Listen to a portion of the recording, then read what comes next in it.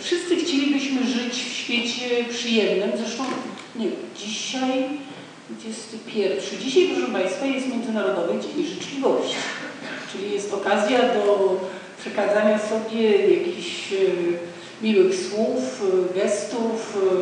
Jeszcze ci, którzy nie skorzystali z tej okazji, mają szansę do 24 zrobić może też coś dobrego dla innych. I dla mnie poczucie odpowiedzialności za świat właśnie zasadza się na tym, zrobić coś dla innych. Wszyscy chcielibyśmy żyć w takim przyjaznym świecie, w którym nie dzieje się nic złego i w którym możemy się rozwijać i żyć tak, jak sobie to wymarzymy. No ale stale dzieje się coś, co zakłóca nam ten spokój. I pytanie, czy my możemy coś zrobić wtedy, kiedy gdzieś toczą się wojny, kiedy cywile cierpią, bardzo często z powodu wojen cierpią właśnie cywile, kobiety, dzieci, starzy ludzie. Mężczyźni zawsze sobie jakoś poradzą, zwłaszcza, że część z nich idzie do wojska, a wojsko zawsze będzie miało co jeść i zawsze będzie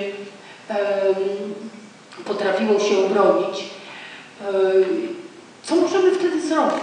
Jakby Pani właśnie odpowiedziała na pytanie, które było tematem tego spotkania, czyli e, czy jesteśmy, czy czujemy się odpowiedzialni za świat?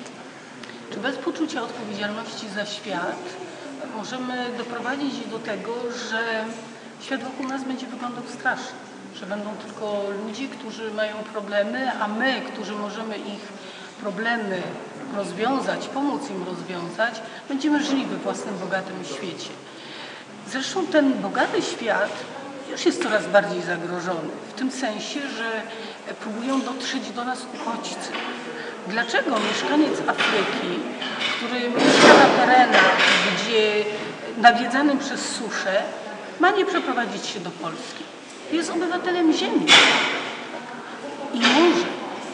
Któregoś dnia, żyjąc egoistycznie, możemy doprowadzić do tego, że zaleje nas fala uchodźców całą Europę, nie tylko Lampedusę. Bo ludzie zdeterminowani e, głodem i poszukiwaniem jedzenia potrafią e, przebyć morza i potrafią wcisnąć się tam, gdzie, gdzie ich nie chcą. E, poza tym ja nie wiem, czy odpowiada nam taka wizja świata, gdzie północ jest bogata, południe jest biedne, i, e, i cały czas żyjemy w takim antagonizmie. Ja wolałabym, jednak nie jestem zwolenniczką porówno, ale ludzie na całym świecie powinni mieć szansę rozwoju. Każdy powinien mieć jakąś szansę rozwoju. No i my po prostu możemy im tę szansę dać. Mamy teraz do czynienia z ogromną tragedią na Filipinach i ogrom nas przytłacza. Czy jesteśmy odpowiedzialni za los tych ludzi? Czy coś możemy zrobić mieszkając w Poznaniu, studiując albo pracując mm, za, za niewielkie pieniądze, albo za wielkie. E, jeżeli popatrzymy na świat jako pewna całość, a świat, który się globalizuje i informacje ze świata docierają do nas e, e, błyskawicznie, właściwie nie ma ograniczeń w dostępie do, do informacji Możemy wręcz obserwować e, arenę wojny, czy właśnie arenę takiej tragedii humanitarnej, jak, jak na Filipinach. Ta wiedza powoduje, że jesteśmy przytłoczeni, czujemy się przytłoczeni tym ogromnym nieszczęść. No ale kto jak nie my, kto jak nie człowiek powinien zatroszczyć się o drugiego człowieka. Czasami ludzie mówią, świat jest zły. Świat nie jest zły. Świat jest taki, jaki go uczynimy. Tak wyglądają miasta w tych rejonach. Ludzie żyją, niektórzy w namiotach, e, w jakichś zorganizowanych obozach, gdzie jest dostęp do wody, ale większość ludzi mieszka w bardzo prowizorycznych warunkach. No, szczęśliwi są ci, którzy przez jakiś czas mieszkali w szkołach, e, tak jak tutaj ta rodzina, ale y, armia rządowa bombarduje również szkoły, wiedząc, że tam chronią się cywile. Y, W związku z czym szkoły też stały się miejscem niebezpiecznym, tak samo zresztą jak, y, jak szpitale. A Ludzi, rodziny, którymi się opiekujemy, żyją w różnego rodzaju piwnicach, grotach, e, w ruinach zabytków. e, e, Tam mają nadzieję uchronić się przed bombardowaniami. E, Teraz, kiedy nadchodzi zima, tam warunki są naprawdę bardzo, bardzo trudne. E,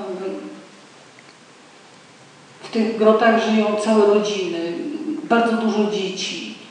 W ogóle człowiek ma wrażenie, że ta wojna jest z dziećmi prowadzona, bo one są właściwie głównie ofiarami tej wojny. Znaczy osoba, która chciałaby pracować w pomocy humanitarnej, to musi być osoba, która jest świetnie zorganizowana, która potrafi pracować w dużym stresie, w trudnych warunkach. Znajomość języka angielskiego w mowie i piśmie to, to jest warunek też jeden z podstawowych. Jest, jak to jest osoba, która jest dobrym organizatorem i potrafi robić kilka rzeczy na raz. To jest też ważne. E, Tego można się nauczyć. E, Ważne jest to, żeby chcieć robić coś dla innych. Nie miałabym takiej motywacji do działania, no bo te liczby są tak ogromne, że one działają deprymująco. Ale jak pomyślę, że mogę uratować jednego, dwóch, dziesięciu, pięćdziesięciu, no to to dodaje energii. I ja nauczyłam się w ogóle w życiu, od dziecka niepełnosprawna, miałam to szczęście, że, że trafiłam do takich ośrodków dla, dla dzieci, a potem dla młodzieży niepełnosprawnej, gdzie mieliśmy wspaniałych wychowawców, którzy y, właśnie w tym duchu nas wychowywali. y, Takim duchu y, myślenia o tym, co mogę.